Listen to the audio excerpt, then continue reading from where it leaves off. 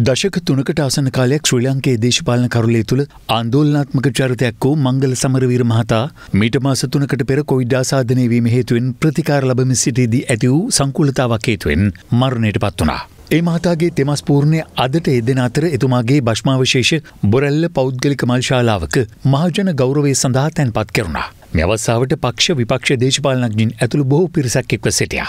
හිටපු ජනාධිපතිනි චන්ද්‍රකා බණ්ඩාරනාය කුමාරතුංග මැතිනියද සේ දේශපාලන සටන් සගයාට අවසන් ගෞරෝ දැක්වීම සඳහා පැමිණියා. මල් කළඹක් තබා මංගල සමරවීර මහතාට සිය අවසන් ගෞරවය දැක්වූ එතුමිය ඉන් අනතුරුව තම දේශපාලන සුමිතුරා පිළිබඳව සමරු සටහනක්ද තබනු ලැබවා. හිටපු ජනාධිපති මෛත්‍රීපාල සිරිසේන මහතාද මංගල සමරවීර මහතාගේ තෙමස් පූර්ණයට එක්ුණා.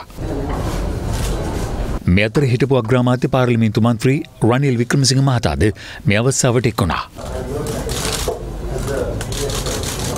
අනාගතය ගැන බලාපොරොත්තුවක් නැති තරුණ තරුණයන්ට ඒ විශ්වාසය ඇති කරන්නට කියලා මංගල සමරීරම ඇතුමත් මමත් ක්‍රියා කළ.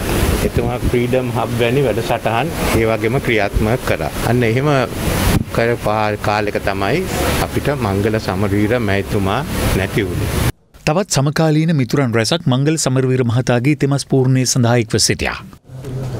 අද සවසාහයෙන් පසු මංගල සමරවීර මහතාගේ භශ්මාවශේෂ එතුමාගේ නිජබිම වූ මාතරට රැගෙනයාමට නියමිතුව තිබූ අතර හෙට පස්සුරු දෙකට මාතර නූපේ පැරණි ලන්දේසි ශාලාවේදී මහජන ගෞරවේ සඳහා තැන්පත් කිරීමට නියමිතයි.